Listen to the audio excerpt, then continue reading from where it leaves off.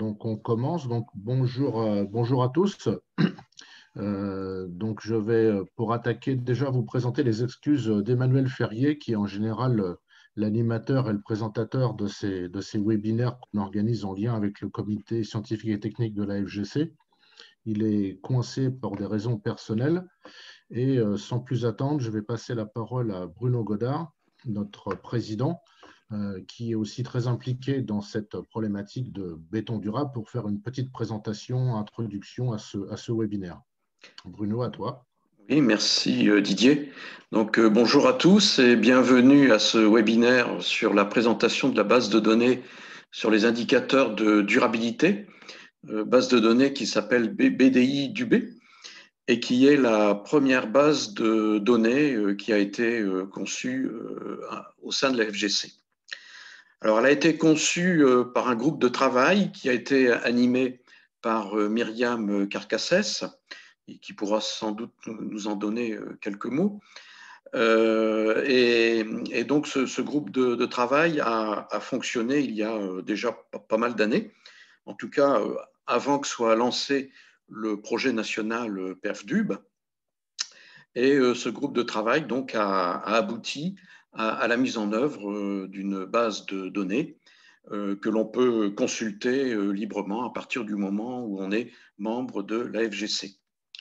Voilà, alors je voudrais aussi mentionner l'important travail fait par Franck Cassagnaber, qui a, je dirais, développé aussi l'aspect un peu plus donné et informatique de, cette base de données. Mais voilà, Myriam pourra certainement nous en dire beaucoup plus. Voilà, donc je, ne suis pas plus long que, cela. Je vous souhaite un très bon webinaire et je passe la parole à Myriam Carcassès. Merci beaucoup, Bruno, euh, pour, cette introduction. Bonjour à tous et à toutes. Euh, donc, euh, nous allons vous, vous, présenter ben, le, fonctionnement de, cette base de données, les objectifs qu'on s'était fixés. Euh, pour ça, je suis accompagné euh, de euh, Abdelgafour Aïtalaiwa du groupe Vinci Construction, de Franck Cassagnaber, donc de l'Université de Toulouse et du LMDC, et puis de Jonathan Ménu du CERIB. Et on va donc vous faire une présentation à, plusieurs voix. Alors, donc, je partage l'écran. Hop, et je vais récupérer la présentation. Est-ce que c'est bon? Vous voyez mon écran? Oui, c'est bon. Hein. ok, parfait. Donc, je démarre. Euh, alors, donc, euh, je ne sais pas si je peux enlever ça en fait. Hmm, non. Bon, tant pis. Ok. Donc, euh, l'objectif de, enfin, le contexte plus exactement de euh, la construction de cette euh, base de données, c'est la durabilité des bétons. Il y a quelques années de ça, on, est arrivé au constat que on, commençait à avoir pas mal de données caractérisant la, durabilité des bétons à travers des indicateurs de durabilité. on a commencé aussi à, à, réfléchir à la mise en œuvre euh, d'une approche performantielle euh, de, la durabilité des bétons euh, à, partir de, paramètres de formulation. cette approche de, la durabilité des, bétons s'est développée. en particulier, Bruno en a parlé à travers le projet national PERFDUB, sur lequel un certain nombre d'ouvrages anciens ont été euh, auscultés euh, avec des mesures euh, de, témoins de durée de vie et d'indicateurs de durabilité, mais aussi avec des essais sur un large panel de, formulations de béton. on peut aussi avoir récemment des, des, chantiers sur lesquels on va contrôler la qualité des bétons à partir d'indicateurs de, durabilité. Le, contexte dans lequel euh, le groupe de travail euh, s'est constitué est un contexte de travail collectif. et c'est vrai que la FGC est vraiment le lieu qui permet justement de construire ce, travail collectif, puisqu'il n'y a pas vraiment d'enjeu financier, j'allais dire. On vient là avec nos compétences, on les met en commun pour essayer de faire progresser la connaissance pour le plus grand nombre. Et euh, ce qu'on a décidé de faire, c'est donc de construire une base de données euh, opérationnelle des indicateurs de durabilité en fonction des paramètres de formulation. Euh, comme l'a dit Bruno, la seule condition pour pouvoir disposer de, des informations contenues dans cette base de données, c'est d'être membre de la FGC, ce qui est quand même pas très contraignant. Le groupe de travail à l'époque a, réuni une quarantaine de, participants. Euh, et ces participants étaient issus, euh, et c'était d'ailleurs notre, souhait, hein, euh, de l'ensemble des acteurs de l'acte de construire. il y avait donc des maîtres d'ouvrage, quelques maîtres d'œuvre, même si on a regretté, et même dans les maîtres d'ouvrage, qu'il n'y en ait pas suffisamment, des laboratoires d'études universitaires ou organismes de, euh, recherche, des entreprises, euh, des cimentiers, des, fournisseurs de, matériaux euh, nécessaires pour la confection des, bétons. Et on a travaillé dans, j'allais dire, une bonne intelligence pour définir quels étaient les paramètres de formulation que l'on souhaitait voir apparaître dans cette base de données et les caractéristiques euh, des différents constituants, euh, mais aussi les conditions de cure, puisque c'était quand même, enfin, c'est quand même un des paramètres importants euh, pour vis-à-vis des, propriétés de durabilité. Et puis ensuite, quels sont les indicateurs de durabilité que l'on souhaitait explorer avec des informations sur la précision de, la méthode de mesure exploitée.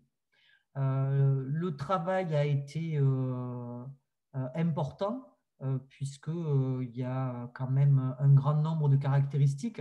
Et finalement, l'objectif du groupe de travail, ça a été surtout de bien lister toutes les caractéristiques et tous les indicateurs de durabilité, et puis, à partir de là, arriver à trouver un compromis entre la faisabilité de la base de données et son fonctionnement, puisqu'on ne pouvait pas avoir un nombre de champs trop important euh, parce que sinon ça aurait trop ralenti le, fonctionnement, et suffisamment d'informations euh, pour euh, dégager des, des pistes d'amélioration concernant le lien entre les paramètres de formulation et les indicateurs de durabilité.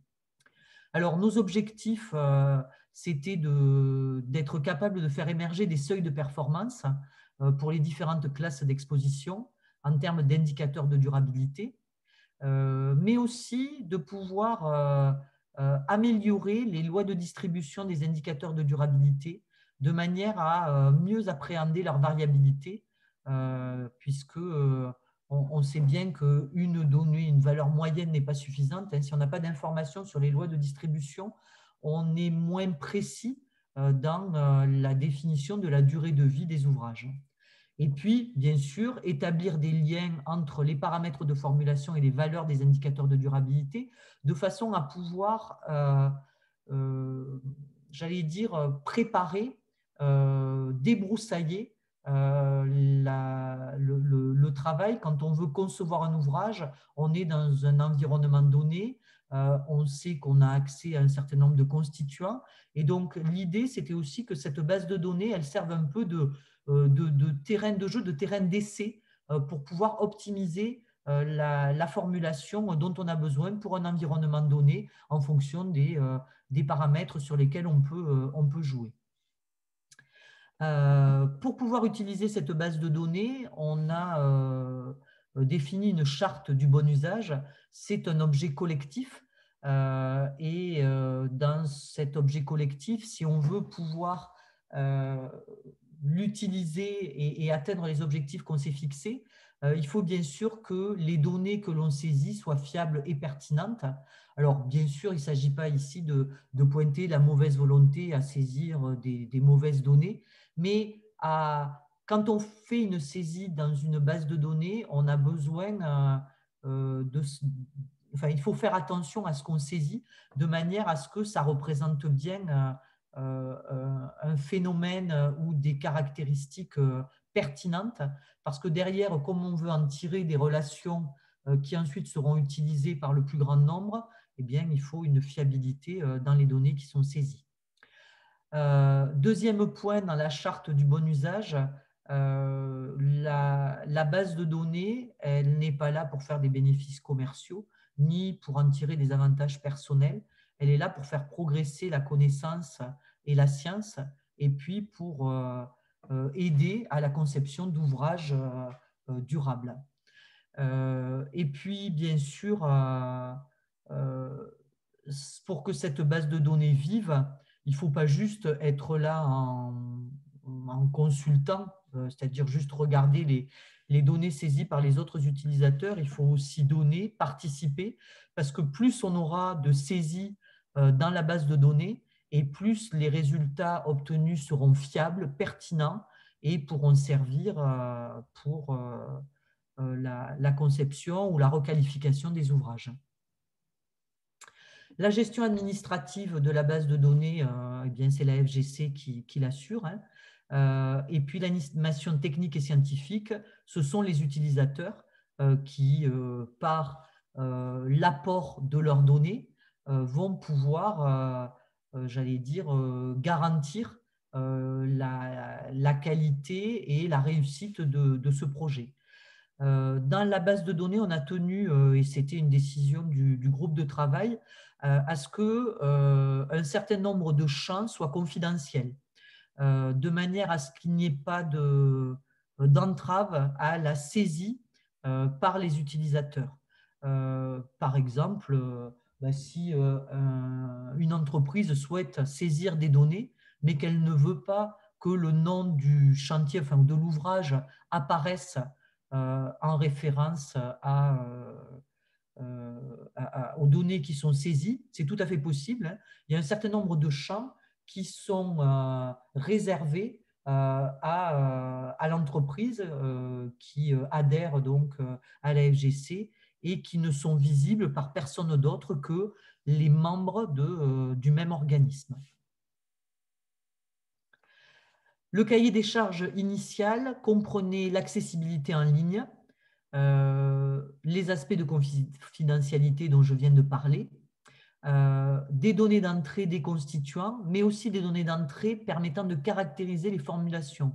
On a parlé de la cure, euh, mais il y, avait, a aussi un certain nombre d'informations euh, autour des, formulations, et en particulier, par exemple, du type de cure, des propriétés des indicateurs, puisqu'il n'y a pas que les indicateurs qui sont saisis, il y a aussi un certain nombre de propriétés, par exemple des bétons à l'état frais et des bétons à l'état durci, telles que euh, la, résistance mécanique, euh, par exemple. L'objectif aussi, c'est de pouvoir prendre en compte l'évolution normative. On sait bien que les, normes ont vocation à, évoluer et il faut pouvoir en tenir compte pour que la base de données ne devienne pas obsolète. Et puis, il faut, il faut aussi qu'on puisse faire évoluer dans le temps la base de données pour s'adapter aux, évolutions euh, euh, dont on peut avoir besoin, par exemple en, termes de type d'addition minérale euh, ou de type de propriété mesurée. ah mince, voilà, c'est ça. Donc on a une architecture qui est assez simplifiée, hein, avec d'un côté les données d'entrée, qui sont composées de fiches pour chacun des constituants utilisés. Ces fiches constituants peuvent être réutilisés dans différentes formulations euh, dans lesquelles on définit euh, la, part de chacun des constituants, les propriétés à l'état frais, les propriétés mécaniques, les indicateurs de durabilité, et puis il y a d'autres caractéristiques, en particulier quand on euh, travaille sur des carottes, un certain nombre d'informations sur l'endroit où on va prélever les, carottes. ces données sont stockées. Et puis à partir de ce stockage des données, on va pouvoir extraire les données soit sous forme de fichiers Excel, euh, soit sous forme de graphiques euh, qui permettent d'exploiter et puis de valoriser ces données dans des modèles prédictifs. on va donc vous présenter les différents tableaux de, notre base de données. Hein, et, puis, les, différents intervenants vont un peu plus détailler ces différents tableaux de bord. Avant de leur passer la parole, un, dernier, un dernier point. Cette base de données, elle n'a pu voir le jour que grâce au soutien de la FGC. C'est sûr qu'ils nous ont fait confiance sur ce sujet-là, mais aussi grâce aux partenaires qui ont contribué financièrement au développement de cette base de données. Vous imaginez bien que pour un projet tel que celui-là, on, on a dû faire appel à un prestataire extérieur, un spécialiste des bases de données, euh, pour construire euh, la base de données que, euh, l'on souhaitait. Et la FGC et, les partenaires que vous avez sur cette diapo ont contribué financièrement pour la, construction de, de, cette base de données. voilà. Ben, écoutez, moi j'en ai terminé pour ma partie. Je vais donc passer la parole Abdel Gafour qui va prendre le relais pour euh, la partie euh, euh, composants et formulation. Merci Myriam. donc je poursuis.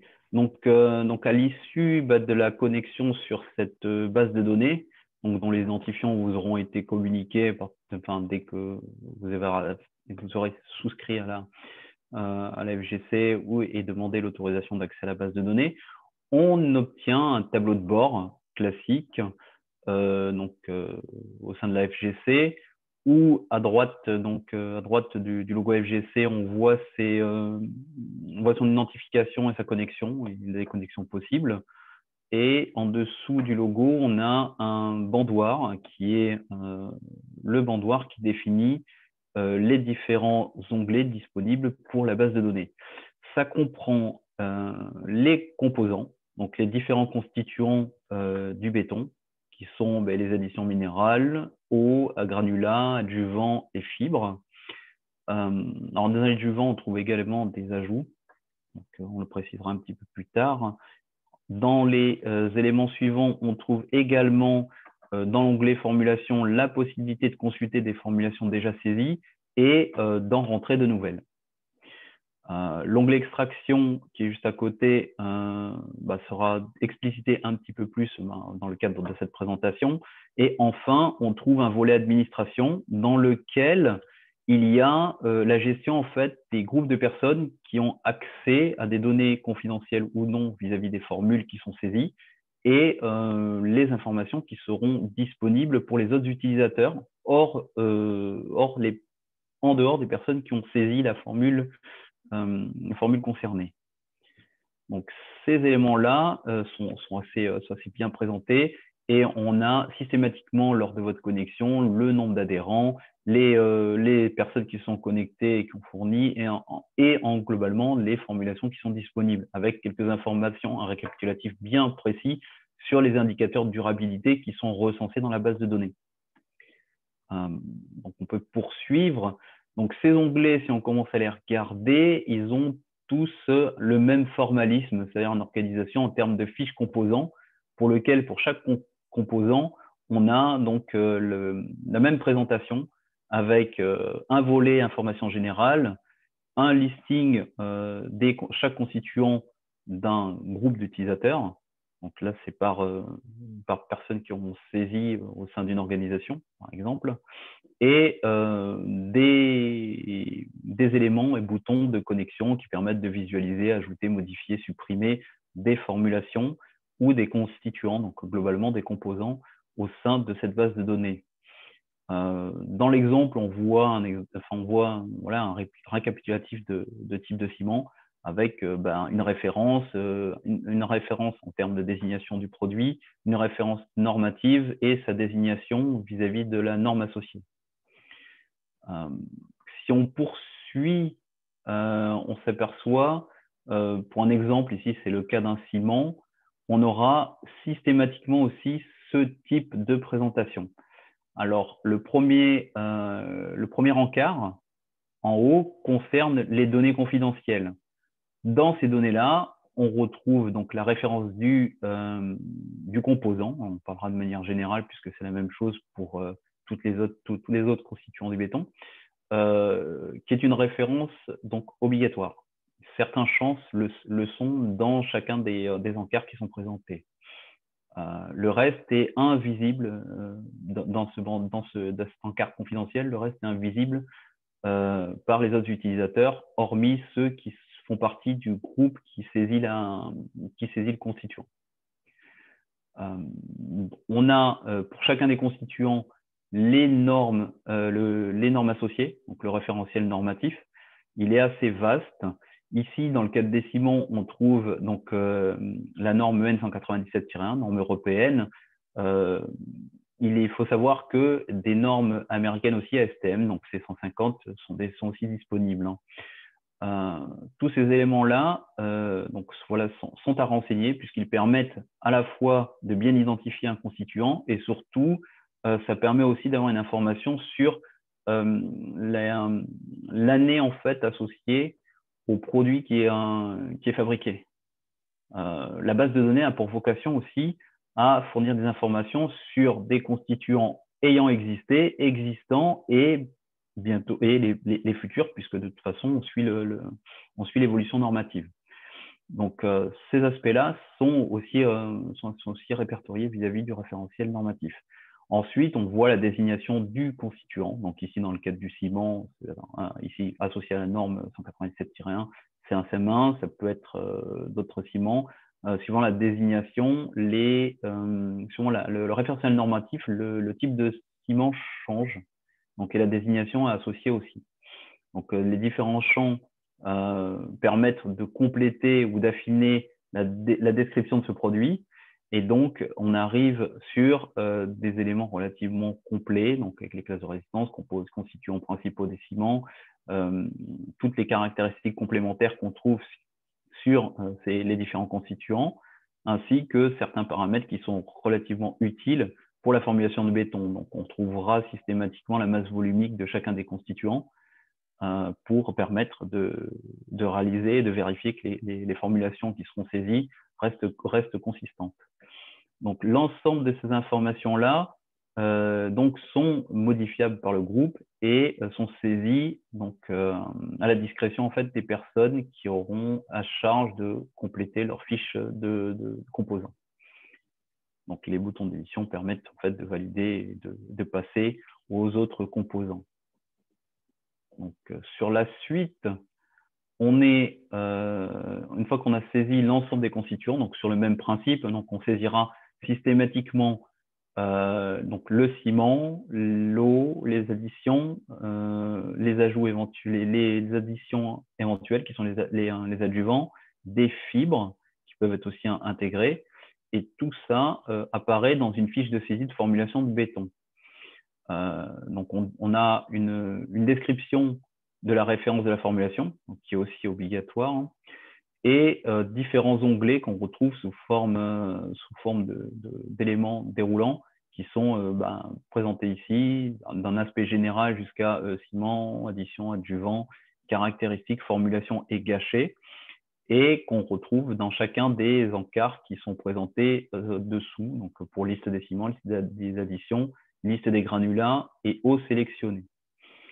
Euh, l'ensemble des informations euh, donc est compilé dans les caractéristiques, à savoir caractéristiques du béton, et pour permettre une meilleure distinction des différents constituants béton et des bétons saisis dans la base, on a une description à faire de ces derniers. Donc, notamment, est-ce que c'est un béton de masse volumique ordinaire, un béton léger, un béton lourd ou autre? Ça peut être un mortier également. Euh, on saisira aussi également la classe de résistance mécanique. Donc, celle-ci sera associée à la norme EN206. Dans le cas français, on sera dans le complément national. Et ainsi que euh, une classe de consistance. Alors, euh, certains éléments peuvent ne pas être renseignés, puisqu'on a aussi la possibilité de rentrer dans la classe. Outre la classe de consistance, on peut rentrer euh, euh, directement la valeur euh, saisie lors des essais, par exemple, ou une valeur prescrite. Enfin, on peut, au sens de la norme EN 206, spécifier aussi les classes d'exposition. La masse volumique qu'on voit en bas à droite et la masse volumique qui est calculée à partir des différents constituants du béton qui sont saisis en, relation avec les dosages qui, auront été saisis dans chacun des, chacun des onglets ciment, addition, granulat, adjuvant, fibre et eau. Donc, quand on a réalisé l'ensemble de, ces, euh, de ces saisies et, compléments au sein des, euh, euh, des, différents onglets jusqu'à la caractéristique, on peut se pencher sur l'onglet formulation, semble-t-il, qui est à la suite de cette, diapositive, où on a un récapitulatif donc, de tous les constituants et de la formule béton qui est saisie. Euh, donc ça nous permet euh, donc de bien euh, vérifier que la formulation qui aura été entrée dans la base de données est consistante avec les données qu'on a, décidé de rentrer. Et on a un rappel sur la formulation de béton avec la quantité de ciment, donc nos TC, la, quantité d'addition minérale totale, les liants L, qui est le lien total, donc qui est, la somme du, ciment plus ses additions. Certains autres paramètres qui sont les rapports entre l'addition et le lien total, le rapport eau efficace sur lien total, ainsi que euh, le dosage en eau efficace et eau total. Alors dans le total, on notera bien que euh, ça n'inclut pas les, adjuvants. Donc l'ensemble de ces informations-là euh, permettent donc de définir la formule de béton et ses caractéristiques. Donc, à cette formulation, on peut associer différentes gâchets. Donc, c'est l'onglet qui se trouve en dernier à droite et qui permet en fait de saisir des gâchets complémentaires. Alors, dans cette base de données-là, alors afin de valider une formulation de béton, il, ne faudra, euh, il, faudra, il faudra cocher la case saisie terminée pour être certain que l'ensemble des informations seront conservées. Hein. Donc, euh, une fois qu'on a l'ensemble de ces informations-là, on peut passer à une saisie complémentaire qui est celle des différentes gâchets béton.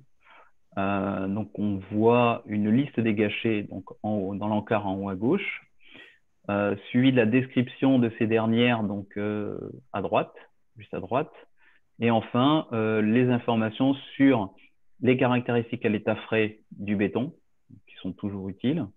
Enfin, les caractéristiques de durabilité qu'on souhaite saisir et qui, euh, qui seront récapitulées en fait dans l'indicateur durabilité et euh, les paramètres mécaniques de la gâchée qui sont aussi saisis. Hein. C'est des choses qui sont importantes. En notant qu'à chaque fois qu'on veut introduire euh, des données de durabilité, elles sont faites par échéance. Ici, vous voyez, c'est l'échéance à 28 jours sur l'encart durabilité, indicateur durabilité pour différents paramètres.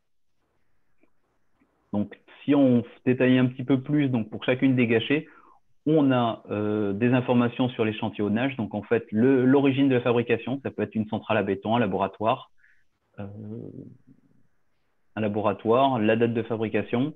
Euh, ça peut être, on a des informations sur le type de corps d'épreuve. Ici, il est noté éprouvette, mais ça peut être une carotte, comme l'avait déjà précisé Myriam auparavant. On a également des informations sur les traitements qui peuvent être faits. Donc les cures, ça peut être un traitement thermique, une cure humide, une cure sèche, la manière dont, les, les, éléments sont fabriqués, conservés, ils peuvent être vibrés, piqués, euh, ainsi que bah, des informations sur bah, l'ouvrabilité initiale du béton. Donc on a euh, des mesures qui peuvent être faites euh, en mesure d'affaissement au code d'Abraham ou, en mesure d'étalement ou, ou, à la table à choc, par exemple. Et toutes ces informations sont saisies. Voilà. Euh, on a la possibilité de saisir énormément de données vis-à-vis des résistances mécaniques également. Donc, euh, type d'éprouvettes, ça peut être des cubes, des cylindres.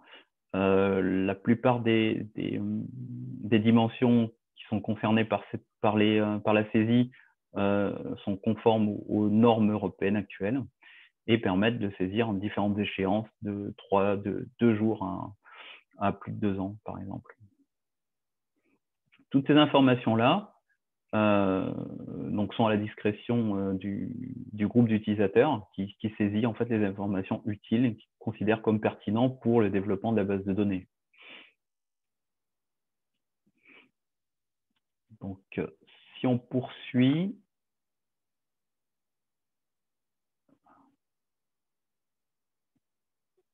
si on poursuit, on se retrouve donc sur une saisie euh, donc des. Et euh, le sujet qui nous importe dans cette base de données, c'est effectivement les indicateurs durabilité.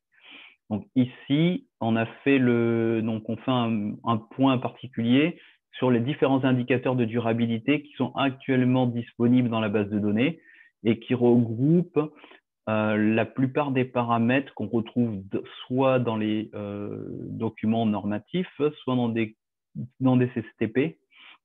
Et ou dans des, euh, dans des projets qui sont en cours de développement. Donc ici, on a euh, la, résistance, euh, la résistance électrique, donc tout ce qui est résistivité, les paramètres de porosité, accessible à l'eau notamment, la perméabilité au gaz, des paramètres de profondeur de pénétration d'eau qui nous permettent d'avoir des informations sur l'étanchéité des bétons, absorption d'eau par capillarité ou par immersion, des coefficients d'absorption euh, des coefficients de diffusion sur les différents paramètres, euh, sur les différents paramètres euh, associés au chlorure, la carbonatation et certains paramètres sur la teneur en portlandite. Alors, pour tous ces indicateurs, à chaque fois, il est précisé en fait le protocole, la norme d'essai qui est associée. Donc, qu'elle soit, donc du coup, elle est associée aussi à sa date de parution. Donc, qu'elle soit ancienne, actuelle ou en cours d'actualisation les paramètres qui sont nécessaires en fait à l'essai ou qui ont été retenus. Donc, on a les températures, euh, les températures, les teneurs en humidité, les euh, protocoles de séchage, temps de séchage, température, euh, les concentrations nécessaires à la réalisation des essais, notamment dans, les essais en ion chlorure, et ainsi que les dates et échéances d'essai. On a également la, possibilité de saisir plusieurs valeurs pour obtenir la valeur moyenne et définir des, euh, précisions et des écarts types sur tous les, paramètres qui sont saisis. Cette, euh, approche qui, est globale permet en fait d'avoir des informations euh, suffisamment robustes et bien documentées pour pouvoir faire les exploitations par la suite de, ces différents paramètres de, durabilité en fonction des différents éléments qu'on souhaite analyser. Donc, euh, quand on arrive à cet aspect-là, euh, on a deux exemples ici d'indicateurs de, durabilité qui sont saisis. Euh, donc ici, c'est la porosité accessible à l'eau et la profondeur de carbonatation. Donc ici, on a le paramètre qui est saisi, le mode opératoire qui est renseigné lorsque celui-ci est connu, ainsi que bah, les, donc les durées de saturation pour les échantillons, ainsi suite, qui sont le nombre de cœurs d'épreuves qui ont été testés, l'échéance de mesure, la précision et euh, l'écart type sur la mesure qui peuvent être saisis.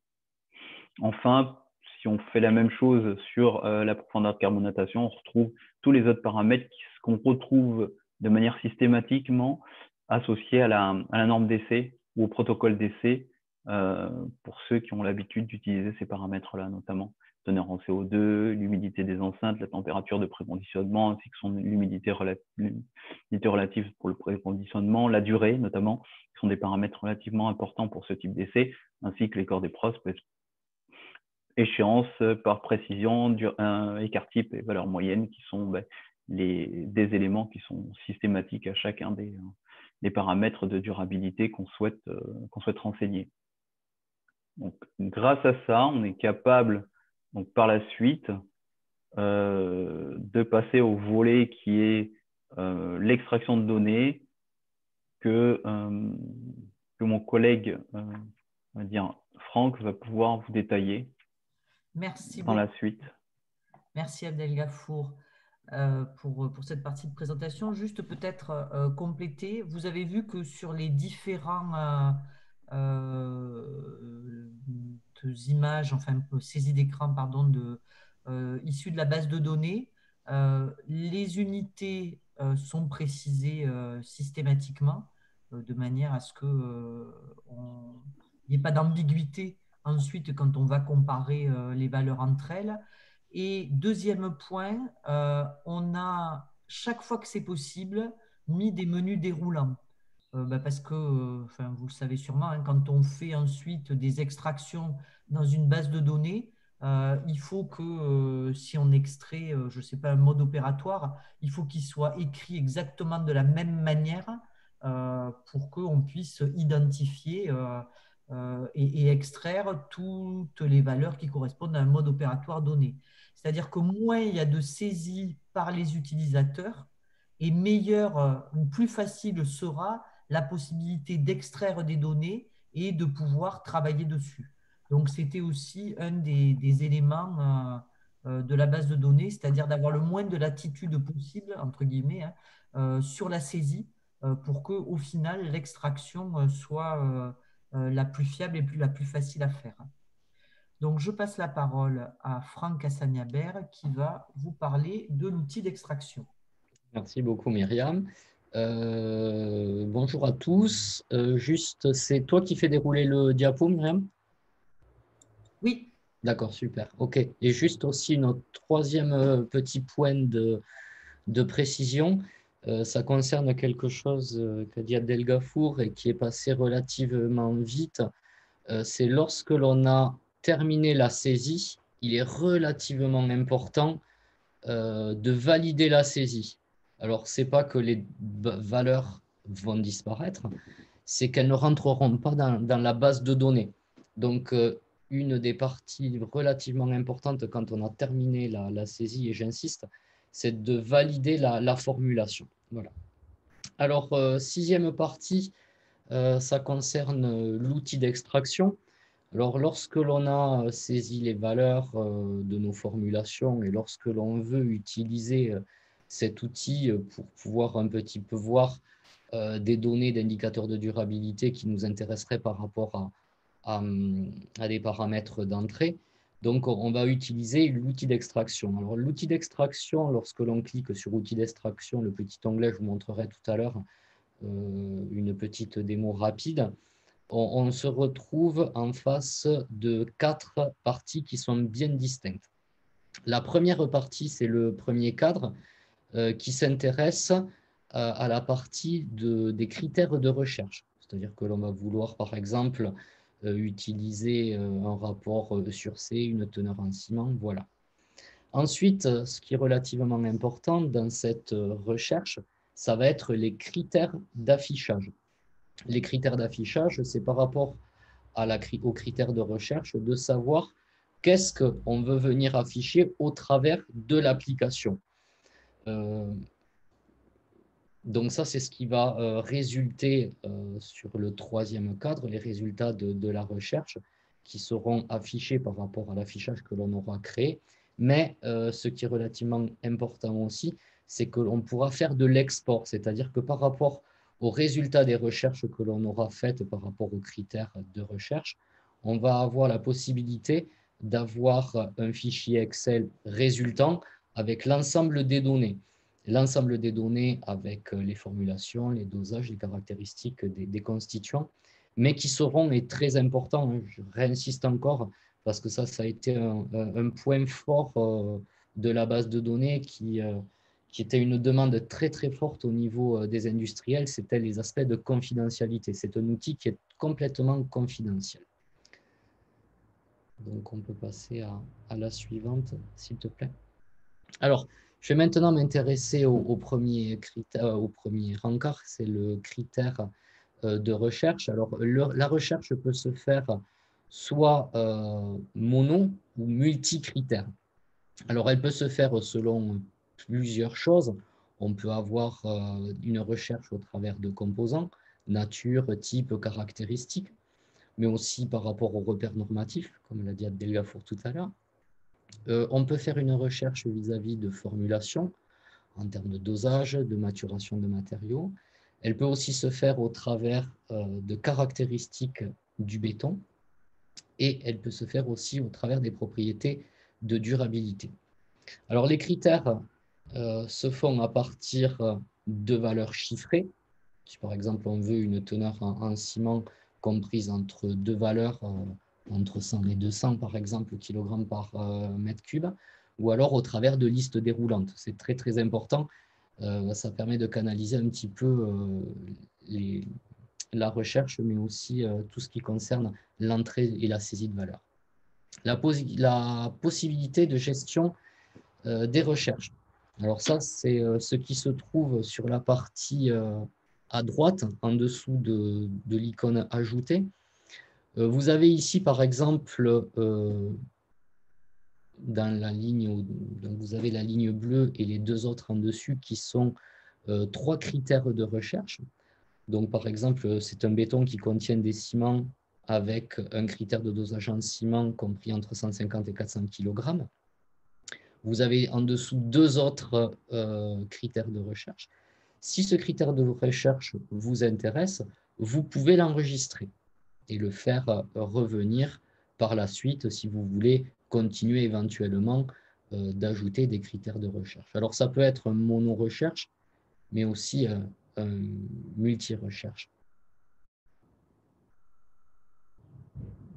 On peut changer. Voilà. Au niveau maintenant du deuxième, de deuxième item, ça va être les critères d'affichage. Donc cette fonction permet d'afficher les résultats suite à la sélection des recherches. Donc deux types de critères d'affichage. Alors il y aura bien sûr toujours un indicateur de durabilité et ensuite il se fera en fonction de notre paramètre. Par exemple ici, il s'agit du critère de dosage en ciment en kg par mètre cube. Très important, il y a, comme l'a dit Myriam, vous avez euh, le critère, mais vous avez aussi toujours l'unité qui est précisée après chaque, euh, chaque valeur. On peut continuer. Maintenant, au niveau des résultats de, de, la recherche, alors deux modes de restitution sont possibles. Soit le format tableau que vous avez euh, sur la première, la première image, où c'est que vous avez le nom de la formulation, le paramètre euh, d'indicateur de durabilité qui était ici la porosité accessible à l'eau, et vous avez euh, le dosage en ciment euh, qui est donné dans la troisième colonne. La, troisième, la deuxième possibilité d'affichage est le format graphique. Vous avez ici par exemple un graphique qui permet de donner la porosité accessible à l'eau en fonction du dosage en ciment.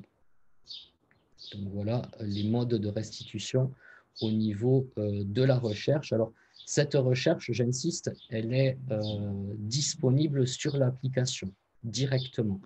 Mais vous pouvez aussi, donc ça, ça sera la diapositive suivante, utiliser euh, d'autres types d'export. Donc si par exemple vous voulez post-traiter vos données de votre recherche, vous avez deux modes d'export vous avez le format Excel, vous avez finalement le format euh, CSV.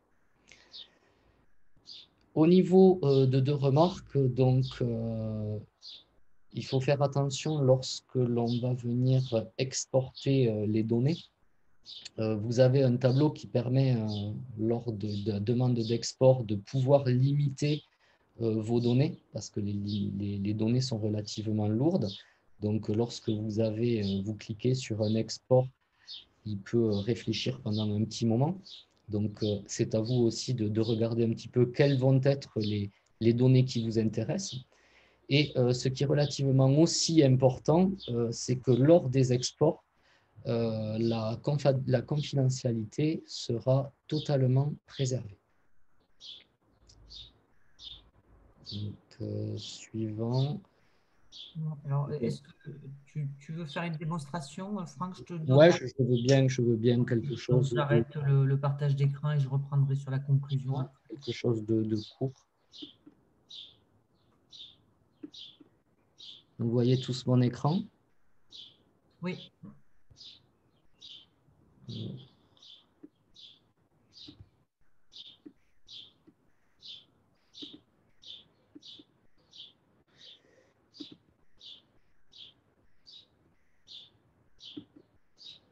Alors voilà, euh,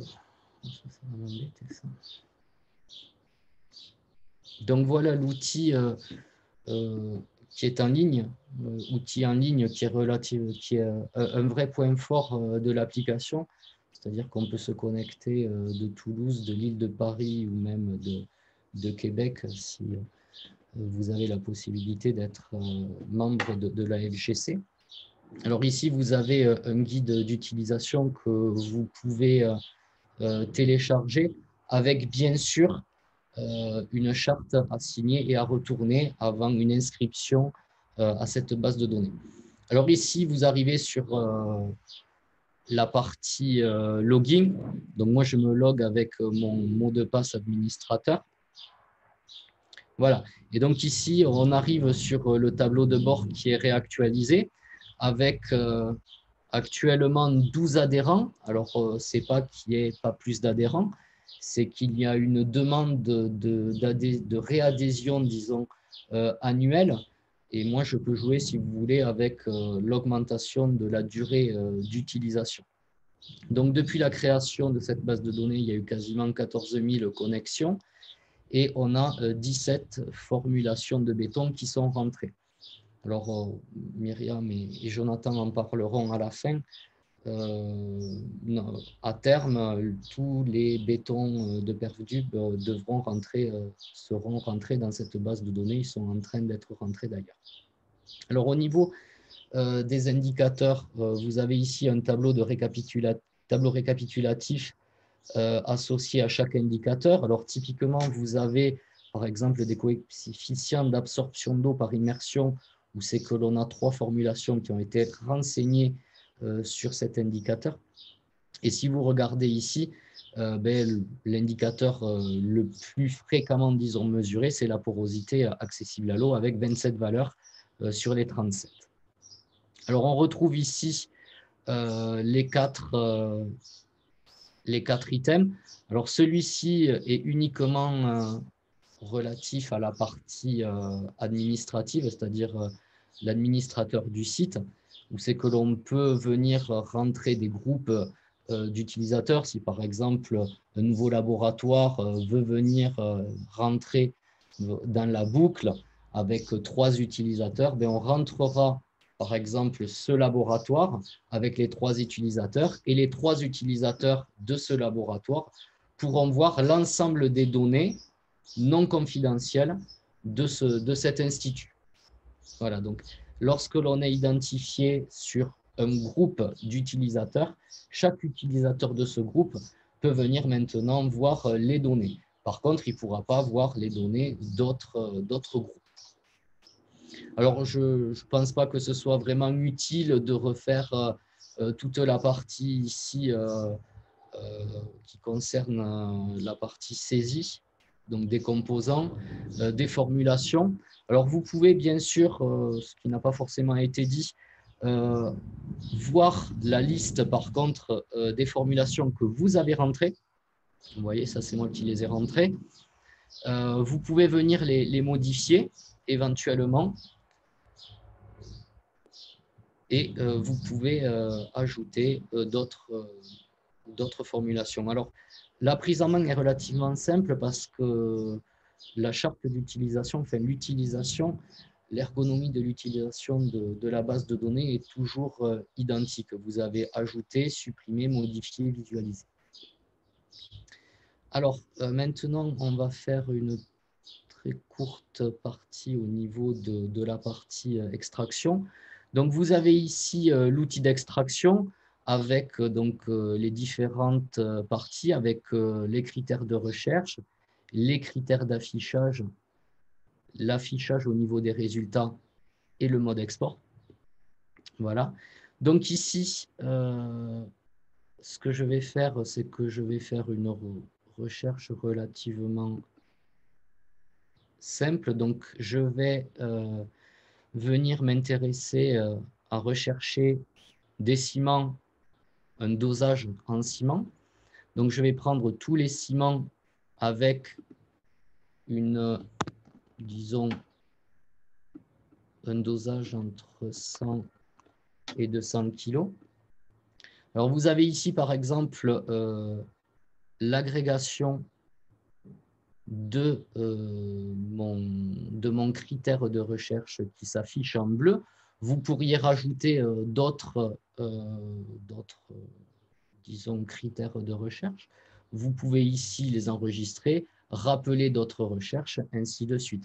Si par exemple vous vous êtes trompé au niveau d'un critère de recherche, vous pouvez sélectionner en bleu le critère recherché et le supprimer. Alors, au niveau des critères d'affichage de ma recherche, donc je vais faire l'indicateur.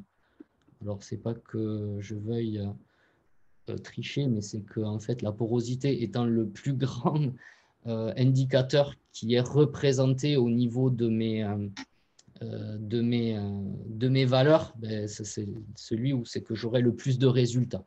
Et puis finalement, le paramètre de formulation que je vais avoir en affichage, ça va être le dosage en ciment. Donc, je vais faire ma recherche. Donc, je vais me retrouver ici avec euh, les résultats de ma recherche, avec les formulations qui vont apparaître, les valeurs de porosité et ensuite les valeurs de dosage en ciment. Donc, ici, je vais avoir mes valeurs au niveau, euh, enfin, mon rendu graphique. Et, si je veux ensuite, euh, donc, je pourrais éventuellement exporter ou aller chercher une information sur une formule.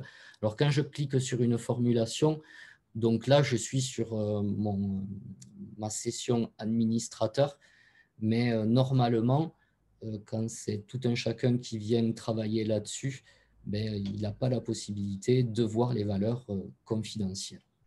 Voilà. Donc, euh, je vais, Merci, je vais te laisser la, la, parole, Myriam, pour conclure, ou à Jonathan. Merci de, de votre attention. Alors, attends, j'arrête mon partage d'écran. Merci.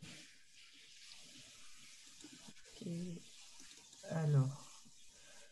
Euh, donc, euh, ce qui est prévu euh, comme, comme, évolution de, la base de données, alors on, a un travail à faire sur l'évolution normative et en particulier sur les protocoles de mesure des, indicateurs de durabilité et des témoins de durée de vie. suite au travail du, PN PERDUB euh, eh bien, il y a euh, un certain nombre d'évolutions euh, qui, qui sont apparues. Et puis, il y a aussi les résultats du, projet sur les 42 bétons, mais aussi sur les ouvrages anciens qui ont été expertisés durant le, projet perdu. Alors, Jonathan, peut-être tu peux apporter des compléments sur ces aspects-là? Oui, alors euh, quelques mots, hein, bonjour à tous. Quelques mots, effectivement, dans les, le projet perdu, il y a eu une base de données importante de 42 bétons réalisés euh, et sur lesquels les caractérisations complètes d'un point de vue durabilité ont été réalisées. Donc, elles sont, on est en train de finaliser la saisie de ces 42 bétons et des indicateurs de durabilité associés dans la, base de données FGC. Aujourd'hui, le projet national perdu n'est pas encore totalement, euh, on va dire, finalisé. Donc, euh, bah, pour suivre l'exemple de ce qu'a montré mes, collègues, euh, euh, la saisie terminée, la saisie n'a pas été terminée, au sens, la, petite croix n'a pas été cochée et ces résultats ne sont pas encore accessibles à l'ensemble de la communauté. Mais dès lors que le projet national sera terminé et avec l'accord du projet national, mais on, on, transmettra, on versera l'ensemble des, des indicateurs de durabilité des 42 bétons dans la base de données FGC. Voilà, donc voilà où on en est. Euh, et il y a un travail, effectivement, comme tu le précises, Myriam, de, réactualisation de certaines données euh, liées à l'évolution, on va dire, des, modes opératoires des principaux indicateurs de durabilité. Très bien. Merci, Jonathan. Donc, bon, je ne reviens pas sur les objectifs hein, qui, sont toujours d'actualité, euh, mais pour pouvoir les, atteindre, il faut que la base de données soit complétée. On a vu que pour l'instant, il y avait assez peu de, euh, de formulations qui étaient, euh, qui étaient saisies, ce qui fait que on, a, on a besoin ben, de, notre communauté et de tous ceux qui disposent de données sur les indicateurs de durabilité et les formulations de béton pour qu'on puisse augmenter la quantité. Plus on aura de données saisies, et plus on pourra avoir des, des exploitations fiables et pertinentes qui nous permettront d'avancer sur, sur l'approche performantielle de la durabilité des bétons. Voilà. Euh, bah, écoutez, merci beaucoup pour, euh, pour, votre attention. Et puis, euh, bah, s'il y a des, des, questions, des remarques, on est à votre disposition pour y répondre. Merci beaucoup, Myriam. Donc, je vais prendre pendant quelques secondes ma casquette de président du projet national Perdub pour apporter, parce que je vois qu'il y a des questions sur lesquelles Bruno a déjà partiellement répondu donc, euh, et que Jonathan a évoqué. Donc, le projet national est pratiquement au bout de sa, de sa démarche. Euh, on est en train de rédiger un projet de fascicule de documentation pour l'approche performantielle qui devrait être soumis à la commission de normalisation, soit rapidement, soit dans le second semestre de cette année. Il y a encore quelques petits problèmes de calage et de mise au point. Et puis, il y aura un document de synthèse un peu global avec l'ensemble des, travaux et puis, bien sûr, l'incorporation des bétons dans la base de données.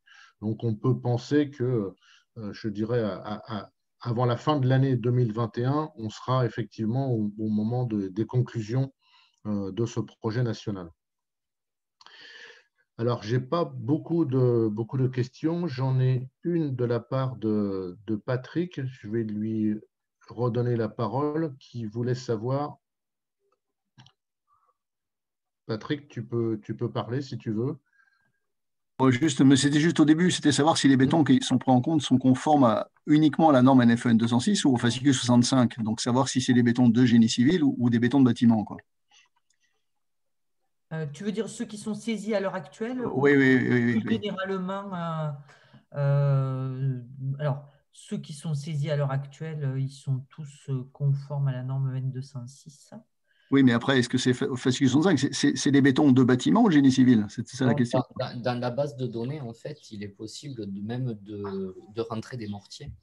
Après, c'est l'exploitation que vous en ferez qui, euh, qui sera faite au niveau de l'extraction et du post-traitement derrière. Hein. Mais il faudrait peut-être le préciser quelque part, parce que ce n'est pas les mêmes dosages. Hein. Non, mais bon, de, toute façon, sur un dosage en, mètre cube de, de mortier, ce pas les mêmes que ceux du béton. Non, mais même sur, le, sur les bétons, s'il est conforme à 206 ou au fascicule 65, ce n'est pas forcément le même dosage. Il ne faudrait pas qu'il y ait confusion. Quoi. Je ne comprends pas ta question, euh, Patrick, excuse-moi. mais euh, je, veux savoir si, si, si, quelque part, quand on met un béton, on dit il est conforme à la norme 206 ou il est conforme aux spécifications complémentaires du fascicule 65. Oui, si c'est ça la question, oui. c'est indiqué dans la base. Oui, c'est aussi indiqué. Ben, je pense qu'il faudrait que ce soit obligatoire de l'indiquer. Alors, ça ne fait pas partie des champs obligatoires. Hein. Euh, non, alors, si, je peux intervenir. oui. Euh, enfin, les bâtiments, les bétons de bâtiments sont aussi concernés et peuvent rentrer dans, la base de données. Hein. Oui, non, mais c'est d'accord, mais quand on rentre un béton, il faudrait savoir. Après, euh, je ne vais pas, par exemple, si je prends un, un, ouvrage qui a été construit il y a 100 ans et dans lequel je vais rentrer la formule de béton et, les indicateurs de durabilité qu'on aura mesurés, euh, je ne vais pas dire qu'il est conforme à l'UN 206. Oui, clair, donc, donc, donc, il faut qu'on ait une certaine liberté quand même de, de, pouvoir rentrer des bétons qui ne sont pas forcément conformes ah à, l'UN 206 ou au fascicule 65. Ma, remarque était, était, cohérente avec ça, c'est-à-dire si, qu'on l'indique quand c'est le cas. Quoi. Si ce n'est pas le cas, on, met qu'on n'a pas l'info ou, ou que ce n'est pas le cas. Quoi. Oui. Euh, mais il y a quand même confusion dans l'esprit de beaucoup de gens entre des bétons conformes à la norme NFN 206 et conformes aux spécifications complémentaires du fascicule 65. D'accord, ok, je comprends. Et puis si c'est un, si un, béton euh, SNCF, c'est conforme aux, documents de la SNCF qui, qui surdose encore en ciment. Quoi. Donc on risque d'avoir des bonnes valeurs en, faisant croire que le béton il est conforme à N206. Or, il sera conforme euh, aux documents de la SNCF qui surdose en ciment c'est pour, pas qu'il y ait de confusion sur le sujet. Sur, le fond, je dirais, la base de données, n'est pas faite pour juger de la conformité des bétons à une norme ou, à, un règlement. Elle, est, faite pour exploiter un ensemble de données euh, bon, qui doivent être en principe pertinentes et, fiables. Hein, c'est ce, ce, que la charte demande. Euh, mais voilà, c'est fait, euh, je veux dire, à, des buts d'exploitation euh, scientifique. Mmh. Ah, ce n'est pas pour attester de la, de la confusion. Non, non, d'accord, mais s'il n'y a pas de risque de confusion sur l'exploitation des résultats, ok. Mais j'ai peur qu'il y ait un risque de confusion. Mhm. Bon. Bah, oui, au niveau de la charte, il faut qu'on voit peut-être qu'on soit peut-être plus clair au niveau de la charte. Voilà, enfin, voilà, Myriam. Enfin, oui, je, le note pour voir peut-être euh, faire un focus particulier sur l'endroit où, où, est saisie la, la, conformité à quelle norme ou à mhm. quelle réglementation. peut-être de, de, préciser ça, oui. Ok, je le note. J'ai vu qu'il y avait une autre question, oui. Didier, ton micro est coupé. oui. Oui, salut.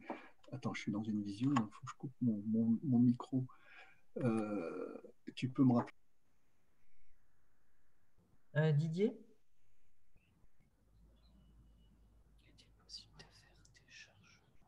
Alors. Si, si j'interviens, oui, il y, a une question oui. qui est de de demander s'il est possible de faire des chargements en masse dans la base de données sur la base d'un fichier Excel plutôt que de rentrer formule par formule. Alors, pour l'instant, ce n'est pas possible. Euh, par contre, euh, c'est quelque chose euh, qu'effectivement, il faudrait qu'on regarde. Et je le note aussi parce qu'on a une réunion du, comité de pilotage de, la base de données qui est prévue en, juillet, au cours de laquelle on souhaite ben, voir quelles sont les évolutions qu'on pourrait proposer et, voir aussi dans quelles conditions on peut faire, faire ces évolutions. Puisque toutes les évolutions, j'allais dire, de, de, la structure de la base de données, il faut que ça passe par des, des spécialistes de, de WebDev, hein, qui est l'outil qui a été utilisé pour le développement de la base de données. Euh, et il faut qu'on regarde avec la FGC euh, si on peut euh, ben, avoir un contrat peut-être de, maintenance pour pouvoir mettre à jour et faire des évolutions. Donc, je, je, pense que ça serait intéressant, mais ça voudrait dire que dans le fichier Excel, on a l'ensemble des champs qui sont clairement identifiés sur le même format que celui de la base de données. Euh, et pour le faire avec euh, des outils de scolarité, par exemple, je sais que ce n'est pas trivial quand même hein, à construire.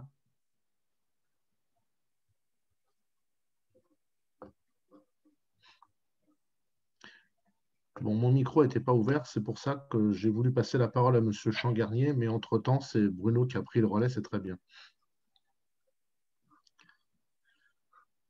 Et il nous remercie de la réponse, donc tout va bien. Est-ce qu'il y a d'autres questions? Vous pouvez lever la main, éventuellement. Donc, on a eu jusqu'à 50 spectateurs au, pic, donc, ce qui est très bien par rapport aux 73 inscrits au webinaire. Donc, je ne vois pas d'autres questions pour le moment.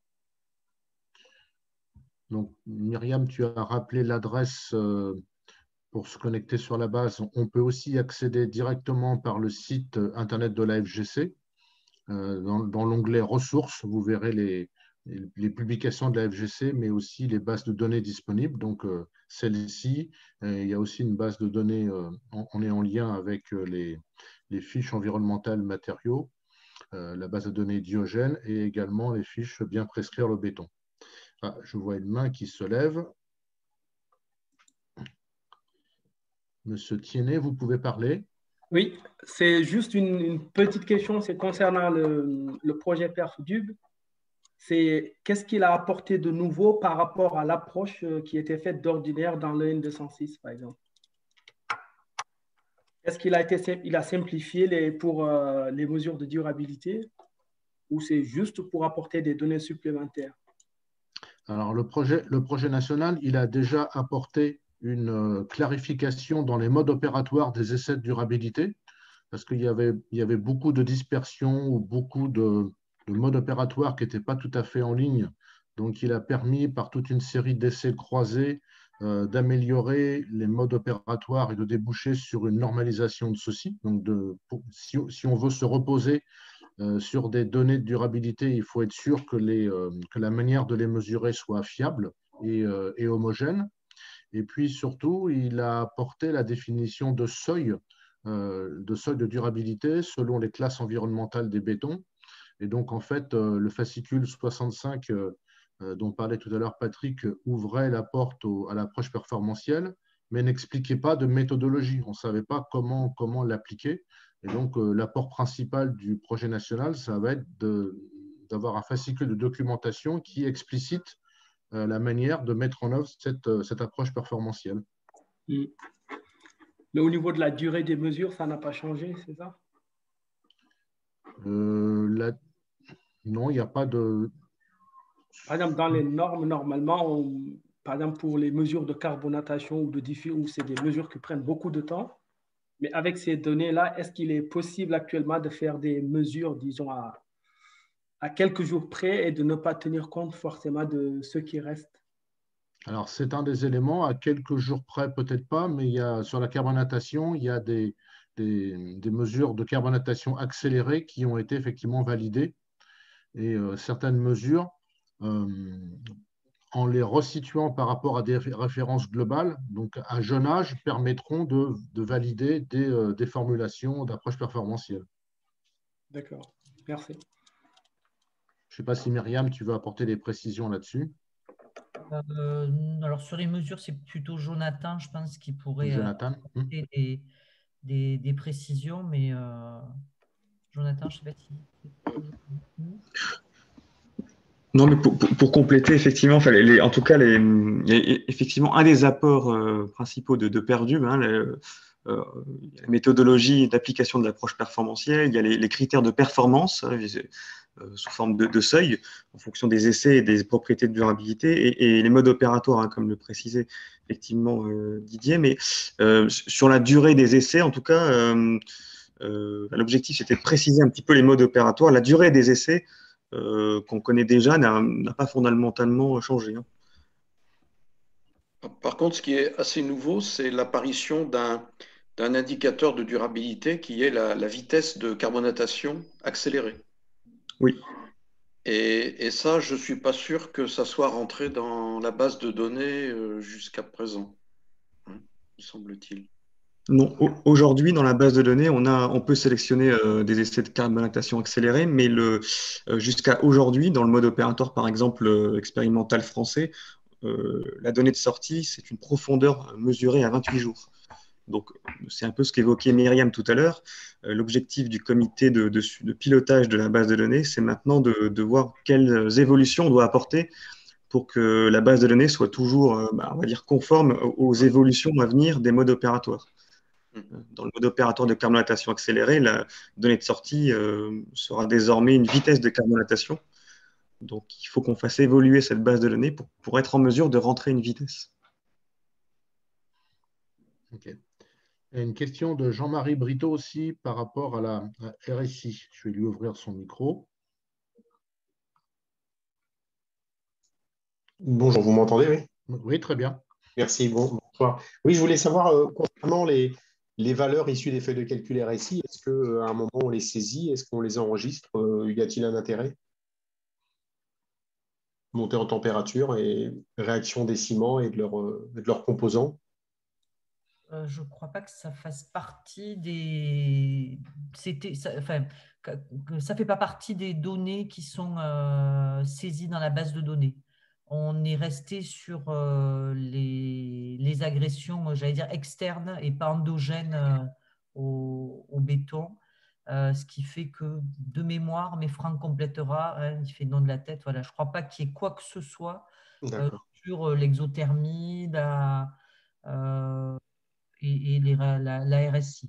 Il y a juste, il y a juste euh, des informations par rapport au cycle, euh, par exemple, de, euh, de préchauffage ou de chauffage pour la préfa. mais par contre, toutes les informations de tout ce qui concerne les pathologies gonflantes, RSI, RSE, RAG, tout ça, on ne l'a pas pris en compte parce qu'on s'est cantonné aux indicateurs, disons, généraux euh, et avec la carbonatation, qui représente 75% euh, des, pathologies généralement. Oui, je, me permettais cette question au regard des, et Bruno Bédard est au courant, au regard de nos, de nos ouvrages ferroviaires qui sont sur certaines lignes touchées par ce phénomène qui n'est pas un, phénomène de second ordre, en l'occurrence, pour ces dernières années que l'on subit, en tout cas. Voilà, c'était juste pour cette information. J'ai entendu la réponse, merci. Ah, Bruno, ton micro est coupé. Oui. Je comprends bien, oui, euh, au, même titre que l'alcali réaction, euh, je dirais les, les réactions de gonflement interne n'ont pas été euh, envisagées au, départ de la constitution de cette base de données. Et, donc, elle est principalement orientée vers les problèmes de, corrosion par, par, chlorure ou par carbonatation. D'accord. Mais bon, ça fait partie euh, peut-être aussi des, développements futurs à, envisager. on faudra qu'on en discute euh, au sein du groupe, en tout cas. Merci.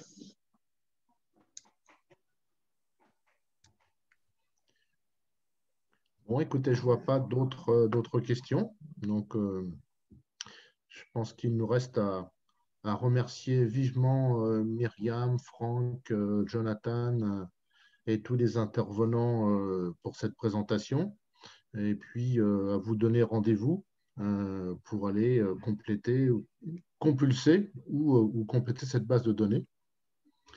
donc, comme je l'ai dit, le webinaire a été enregistré, donc on, vous aurez la captation vidéo qui sera en ligne disponible sur le site de la FGC. Et puis le diaporama également, on le mettra sur la page d'accès au, à la base de données pour donner un petit peu le, mode d'emploi permettant d'y accéder. Donc, euh, j'ai remarqué qu'il y avait une, vingtaine de personnes qui étaient non membres de la FGC qui se sont inscrites à ce webinaire. Donc, euh, on les remercie de leur participation et on les encourage vivement à devenir membres de l'association. Euh, ils auront accès gratuitement à toutes nos manifestations, webinaires et autres, et bien sûr accès à la base de données. Eh bien, merci à tous. Et puis, je vous souhaite une très bonne soirée. Et rendez-vous sur nos prochaines manifestations. Au revoir. Merci. Au revoir à tous et à toutes. Au revoir tout le monde. Merci. À tous.